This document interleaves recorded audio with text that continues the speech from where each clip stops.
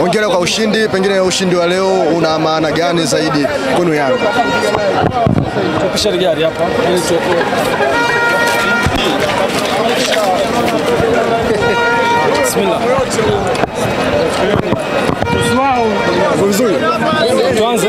Engineer, ushindi wa leo una maana gani kwa Young Africans hususan mmekosa alama tatu kwenye michezo mitatu mtawalia? Uh, Kwanza tunamshukuru Mwenyezi Mungu kwa mchezo kuisha salama. Kumekuwa kuna uh, mchezo ambao kwa kweli ulikuwa very sensitive kwa klabu yetu.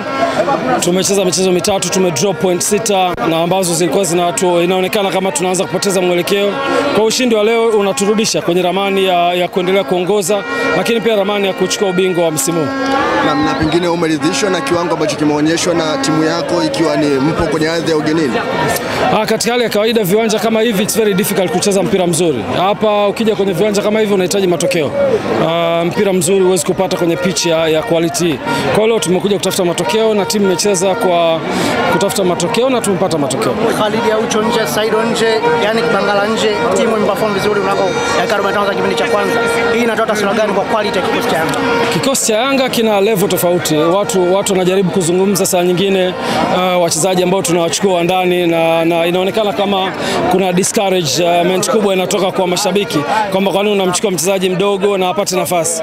Lakini nataka niwaambie uh, leo development ya wachezaji wetu haipo tu kwenye dakika 90. Development ya wachezaji ipo kwenye training bora ambazo sisi tuna provide um, technical ability kubwa ya technical bench yetu ina support development ya mchezaji kucheza pia na wachezaji wa quality kubwa kuna develop mchezaji.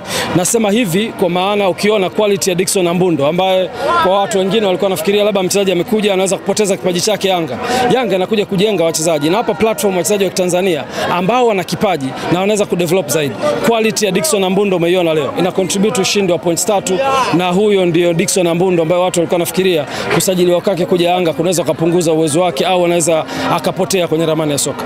Engineer pointi ya 60 kwenye msimamo wa ligi kuu, tuseme Yanga tayari ni bingwa, tusubiri mechi ziishe. Ah, ingekuwa bingwa leo nafikiri tungekuwa tunapewa kombe uwanjani. Kwa bado kila mechi kwetu ni muhimu na hatujachukua ubingwa, tunaelekea kuchukua ubingwa. Kwa hiyo hatuwezi kubweteka kwamba leo tumeshinda tumekuwa mabingwa. Hapana, leo tunachukua nafasi ya kusogea kuelekea ubingwa wa msimu. Asanteni sana.